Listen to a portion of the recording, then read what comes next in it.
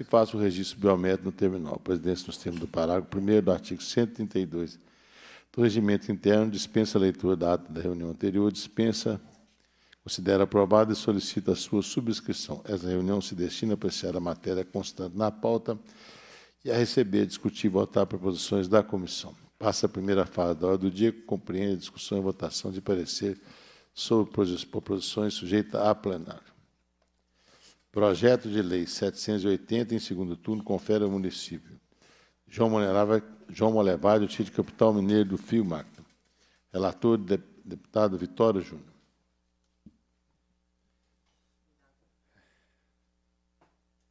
Com a palavra, deputado Vitório Júnior. Parecer para o segundo turno do projeto de lei de número 780 de 2023, Comissão de Desenvolvimento Econômico, de autoria do deputado Tito Torres. A matéria em estudo tem por objetivo conferir ao município de João Molevade o título de capital estadual do Fio Máquina. Aprovado no primeiro turno na forma original, retorna o projeto de lei a esta comissão para receber parecer de segundo turno, nos termos do artigo 189 combinado com o artigo 102, inciso 8 do Regimento Interno. O projeto em análise visa conferir ao município de João Malevade o título de capital estadual do fio máquina. Segundo o autor, a siderurgia no município tem mais de 200 anos, desde o estabelecimento da região do pioneiro francês Jean Monlevade, em 1817. O autor destaca que o início da operação de uma siderúrgica moderna remonda à década de 1930 e que, a partir da década de 1970, essa usina se concentrou na produção de fio-máquina, insumo utilizado para a produção da lã de aço, cabos, entre diversos outros produtos. Informou ainda que a lei municipal já atribuiu ao município o título agora pretendido em nível estadual e que esse reconhecimento apoiará o desenvolvimento local e aumentará a autoestima da população. Em análise de primeiro turno, a Comissão de Constituição e Justiça não encontrou impedimento para a tramitação da matéria. Assim, concluiu por sua legalidade, constitucionalidade, juridicidade na forma original. Já esta comissão, na ocasião, ratificou o entendimento do autor sobre a importância da matéria, inclusive quanto a seu impacto sobre a autoestima municipal e estadual.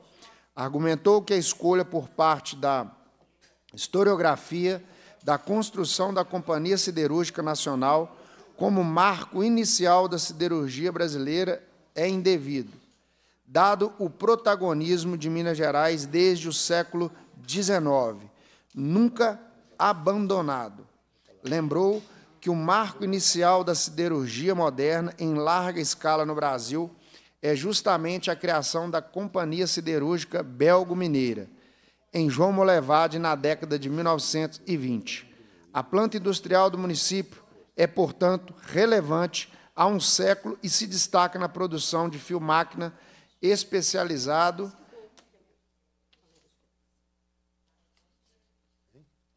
que se aumentará nos próximos anos, devido a um aumento planejado de sua capacidade de produção. Dessa maneira, a comissão entendeu ser meritória a aprovação da proposição neste Parlamento. Aprovada em primeiro turno na forma original, retorna a matéria a essa comissão para novo exame. Na ausência de fatos novos, reiteramos o entendimento já exposto no primeiro turno. A matéria reconhece a importância do município de João Molevade para a indústria siderúrgica quanto aos seus aspectos econômicos e históricos, e que também contribui para a autoestima só para a autoestima não só de seus munícipes, mas de todos os mineiros. Conclusão, apresentado, somos pela aprovação do projeto de lei 780 de 2023 em segundo turno, na forma original, presidente. Em discussão, parecer. Encerra-se a discussão. Em votação, parecer. Os deputados que aprovam permaneçam como estão. Aprovado. Projeto de Lei número 709 de 2015, de autoria do deputado Sargento Rodrigues, é, relatora deputada Ana Paula Siqueira. Com a palavra, deputada. Obrigada, presidente. A proposição em tela pretende reduzir os encargos decorrentes das relações de consumo, mediante a vedação da cobrança pelo fornecedor dos valores relativos à emissão de boletos bancários, carnês de pagamento e outros documentos similares. Prevê também a proibição do lançamento do número do cadastro de pessoa física, CPF, nos referidos documentos entregues por via postal ou serviço de correspondência ou encomenda. A Comissão de Constituição e Justiça esclareceu que não há óbice à tramitação da proposição. A Comissão de Defesa do, do Consumidor e do Contribuinte informou também que a filosofia da Comissão de Desenvolvimento Econômico busca a harmonia, de, desculpa, a filosofia da Comissão de Defesa dos Direitos do Consumidor busca a harmonia entre as relações do consumo fundada na sintonia do tratamento entre as partes envolvidas.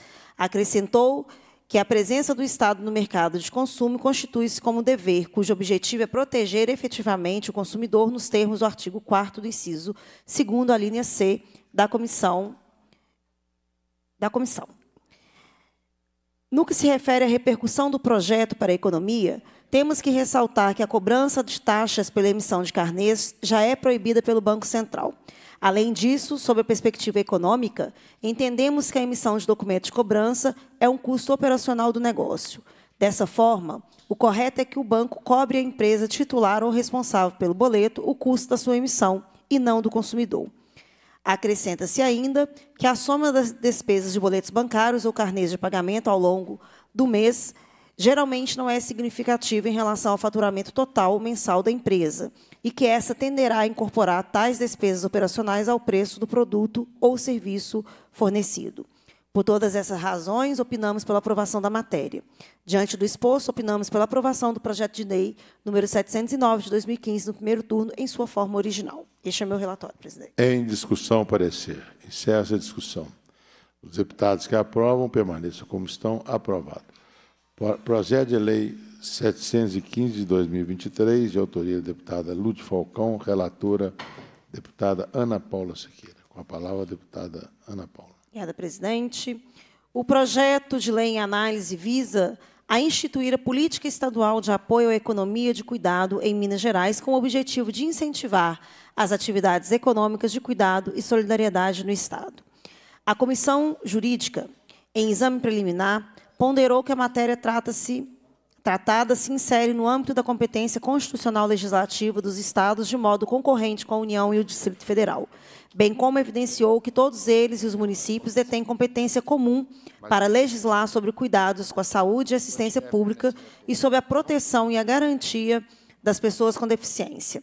Ainda entendeu que há respaldo constitucional à iniciativa parlamentar nessa matéria que se analisa resguardadas as limitações de fixar, fixar diretrizes de políticas públicas estaduais, sem impor detalhamento desproporcional e sem dispor sobre matéria da natureza administrativa que permanecem sobre o rol de atribuições do Poder Executivo.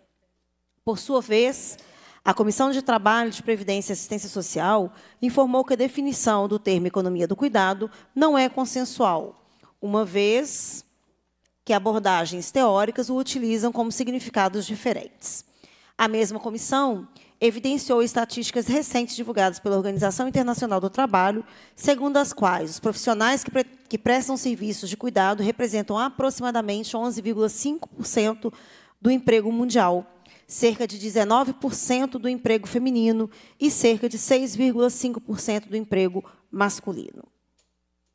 Na América Latina, as vagas de trabalho de prestação de serviço de cuidado equivalem a 16% do total de vagas disponíveis, correspondendo a cerca de 47 milhões de pessoas, das quais aproximadamente 77 são mulheres.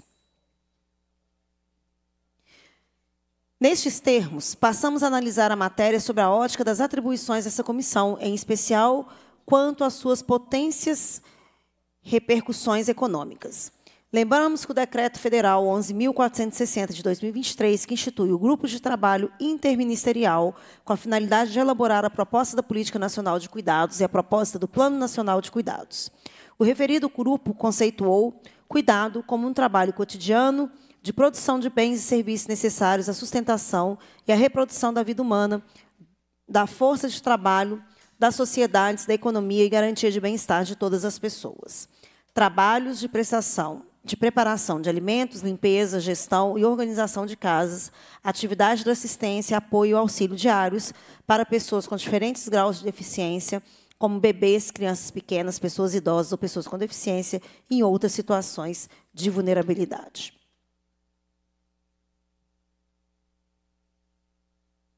Além disso, entendemos que essa política pública que se pretende implantar é dotada de forte conteúdo de transversalidade, no sentido de que o tema do serviço dos cuidados conectam políticas setoriais, educação, saúde, assistência social, trabalho, previdência, desenvolvimento econômico e produtivo. As dimensões de gênero, raça, etnia, classes, ciclos de vida, deficiência e território e suas múltiplas interseções. Assim, consideramos pertinente as diretrizes dessa política, que as diretrizes dessa política sejam materializadas em lei e, para tal, entendemos que o substitutivo proposto pela comissão pretende é, se adequá-la a esse objetivo. Diante do exposto, somos pela aprovação da Lei número 715 de 2023, em primeiro turno, na forma do substitutivo número 1, apresentado pela Comissão de Trabalho, Previdência e da Assistência Social. Esse é meu relatório, presidente. Em discussão, parecer. Encerra a discussão. Em votação, parecer. Os deputados que aprovam permaneçam como estão. Aprovado. Projeto de Lei 1377, de autoria da deputada Maria Clara Marra.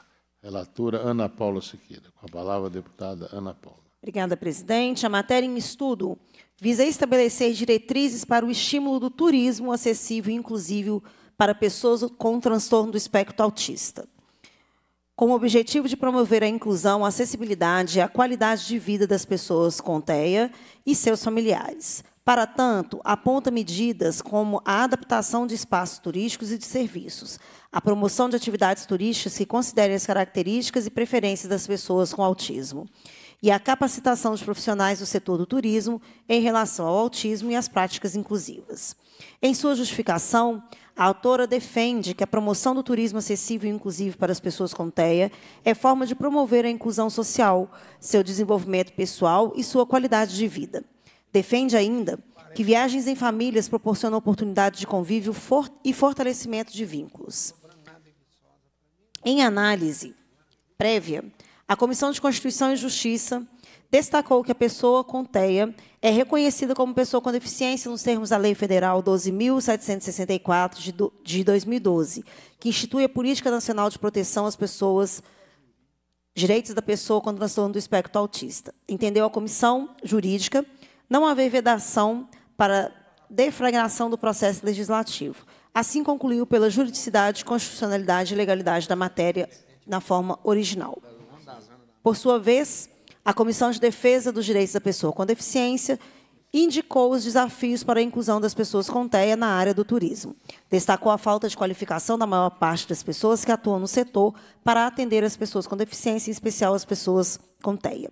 Mencionou também barreiras arquitetônicas, urbanísticas e nos transportes, além da falta de soluções de acessibilidade sensorial, cognitiva, audiovisual para a pessoa com TEA e outras deficiências. Assim, a referida comissão julgou como meritória a matéria, com vistas, contudo, a aperfeiçoar a técnica legislativa, apresentou o substitutivo número 1, na forma do qual opinou pela aprovação do projeto. Cumpre notar que a legislação de turismo em nível estadual ou federal ainda é incipiente quanto à inclusão das pessoas com TEA.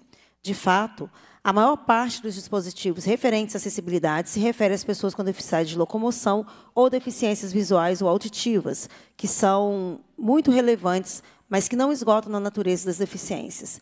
Dessa forma, o projeto em estudo pode ser elemento para a inclusão do TEA no âmbito da promoção do turismo acessível. Concordamos ainda com os aperfeiçoamentos propostos pelo substitutivo número 1, apresentado pela Comissão de Defesa dos Direitos da Pessoa com Deficiência. Pelo apresentado, somos pela aprovação, em primeiro turno, do projeto de lei 1377 de 2023, na forma do substitutivo número 1 da Comissão de Defesa dos Direitos da Pessoa com Deficiência. É esse meu relatório, presidente. Em discussão, parecer. Encerra a discussão. Os deputados que aprovam permaneçam como estão. Aprovado. Passa a segunda fase da ordem do dia, que compreende discussão e votação de proposições que dispensam apreciação do plenário. Registro aqui a presença do deputado grego da Fundação, prestigiando aqui a nossa comissão. Requerimento número 6.801, em turno único. Que requer que seja formulado voto de congratulação com Vera Lúcia da Mota, pela notável atuação no mercado texto em Monte Sião, autor deputado grego da Fundação. Em votação, requerimento. Para, para encaminhar o deputado grego da Fundação. Obrigado, presidente. Bom dia, nossa deputada Ana Paula, nosso querido amigo Vitório. Vera Mota além de uma pessoa, presidente, também é uma marca em um mercado super exigente e, mais que uma marca, é uma referência para o setor têxtil de Minas Gerais, do Brasil e do mundo. A congratulada Vera Mota sempre atuou na política de sociedade, buscando apoio de agentes políticos para soluções de problemas do seu município e também sempre visando o bem-estar e, com o coração alegre, me faço presente e peço aos nobres de pares o apoio para aprovação deste requerimento. Obrigado, presidente. Em votação, requerimento. Os deputados que aprovam permaneçam como estão. Aprovado. Passa a terceira fase do dia, compreende discussão e votação de proposições da comissão.